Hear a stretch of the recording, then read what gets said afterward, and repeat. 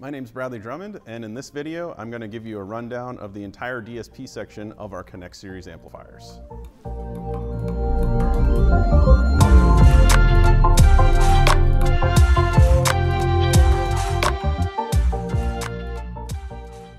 So to get started, you're going to click on the amplifier here to get into the DSP section. So once you click on there, we've got all these blocks across the top for all the different sections of the DSP. So starting from left to right, we've got the input section. We have general channel settings, the signal generator, the crossover, EQ, the limiter, and load monitoring. So just taking you left to right, first we're in the input section here. So this is where you've got primary and secondary inputs for each of your channels, and it's a full routable matrix. So any of your inputs can be selected on any of your primary and secondaries on any of the channels. If you're selected on analog, you've got sensitivity settings for 26 dB and 34 dB. You've got a level attenuation slider here, which you can use by clicking and dragging to slide it left and right. You can use these arrows to bump up and bump down the signal or you can click on the value here and type in any number that you want. On the right side here, you've got input meters for primary and secondary with clip indicators across the top. And you've also got an output meter with clip output indication as well. For secondary input, you've got the exact same settings here with all the different inputs selectable, same level control as you have on primary. At the bottom here, you have override mode for override between the primary and secondary signals. So in this first mode, auto override primary input, say you've got background music playing on your primary and you have a microphone paging system on the secondary. The signal will play the background uh, music on the primary until it detects something on the secondary. So when it detects that the microphone paging system is active and there's signal coming in, it'll take over and then it will switch back to the primary once that uh, signal is gone on the secondary. In the other mode here, signal sensing override, this is like your traditional failover mode. So say you've got a Dante signal on your primary and you've got an analog backup on your secondary. Well, say the Dante network crashes, well, it will immediately kick over to the analog backup. Once the Dante network kicks back in again, it'll immediately switch back to the Dante network on primary. So next we've got the general channel settings. So this is where you can name the actual channels. So let's call it, you know, speaker one. Whatever you want to name it, you can type that in here. This is also where you can change the mode for the output. So you can change between uh, low Z and then high Z 100 volt or high Z 70 volt. Once you go in any of the high Z modes, there's a secondary high pass filter that engages here. So by default, it's set to 70 hertz but you have the ability to change this between 35 hertz and 5 kilohertz. The reason this is here is to protect the speaker uh, transformers from oversaturation. Next section here is for Smart Power Bridge. So this is where you can enable the Smart Power Bridge on each channel, uh, one channel at a time per amplifier. So what this does is it will double the power of that channel with uh, keeping pretty close to the same rated power on all the remaining channels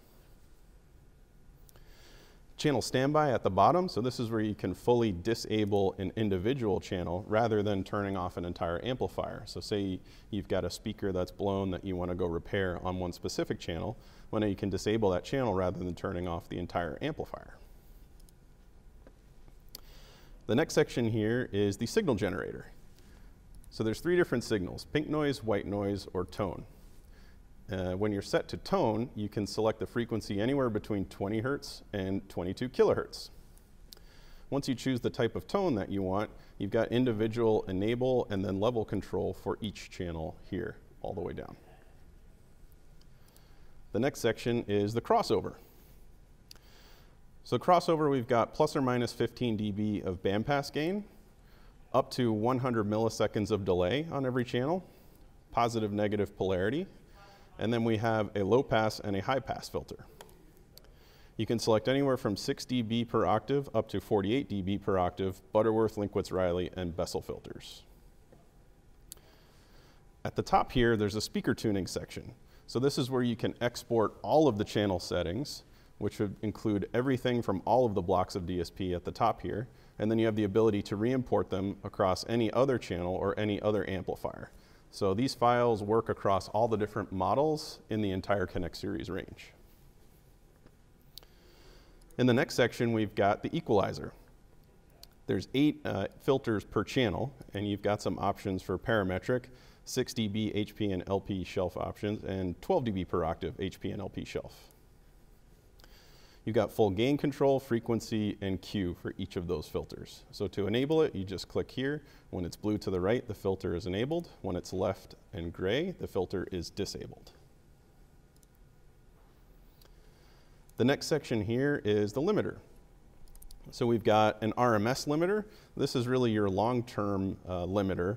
It's set in voltage for threshold, and then you've got attack and release times anywhere between one second and 10 seconds. Below this, it says speaker limiter. So this will show you the amount of dB reduction that the speaker limiters from the user definable limiters here are putting on the amplifier if it's engaged. Below that is the protection limiter. So this is more of an internal limiter. This is not controlled by the user, but this is to keep the amplifier out of uh, thermal or if the power supply is going to be overdrawn, it'll show you that it's doing some reduction in output to keep the amplifier safe. Underneath this section, it also shows you the live RMS voltage output. And then next we've got the peak limiter section here. So this is really your fast acting limiter like you would normally see in a DSP. Again, it's set to a threshold in voltage.